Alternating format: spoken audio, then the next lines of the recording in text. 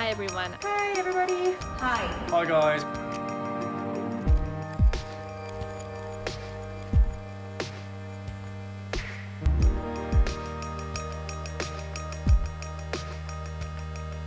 Team Halo is a project, an international project um, uh, with the support of the UN, United Nations. Uh, so they, they gather uh, experts on vaccine or uh, infectious diseases and uh, COVID-19 to uh, share their knowledge about vaccines, about the disease, and mainly on TikTok, but they also work on Twitter and Facebook. The idea is to share uh, simple and basic information about vaccines. Well, an antibody is a magic bullet that our body makes to fight all kinds of pathogens. So we think that being, uh, if, if we are very transparent and if we explain things simply, people will, uh, will believe in the vaccines and they, they will, like they, their fears will uh, maybe not disappear but decrease. So the way we want to do it is to do it both uh, in a scientific, uh, uh, proper way, but with short videos. There is a lot of disinformation on COVID-19, uh, the virus, the vaccines. So the idea is to share short videos with uh, scientific and medical experts on uh, coronavirus and vaccines uh, to tackle the fears of the, the, people.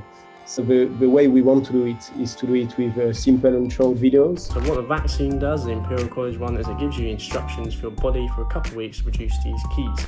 Uh, so that people can watch it uh, anytime, uh, sometimes with a humoristic tone, uh, but to share validated scientific information. So I think it's really difficult to fight disinformation. So the idea is more to, to disseminate uh, uh, information, medical and scientific information to everybody so that they can, they can have answers to their simple questions.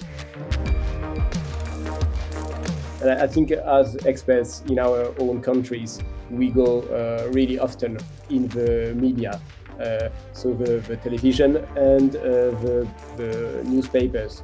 So I do at least uh, between between 10 and 20 interviews a week on such classical or standard media. this this is more focused, I think, to the older people.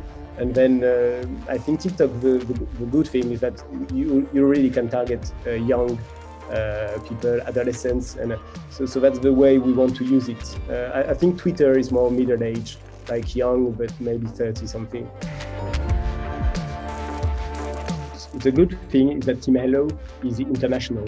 So we can share with other experts anywhere in the world. We can share the scientific information. We can agree on the main messages we can discuss together and then we go to our own country. And I think we tackle the, the fears with the only way that has uh, potential is by sharing uh, good scientific and easily understandable uh, information.